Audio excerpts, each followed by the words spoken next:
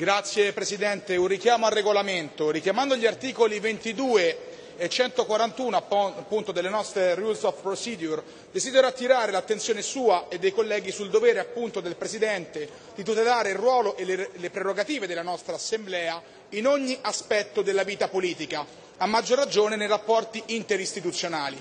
Domani ci ritroveremo, colleghi, a dibattere per l'ennesima volta sulla dichiarazione dello scorso marzo tra UE e Turchia ne dibatteremo e basta, perché alla nostra casa è stato negato non solo il diritto, ma anche il dovere di esprimere la propria volontà e responsabilità politica.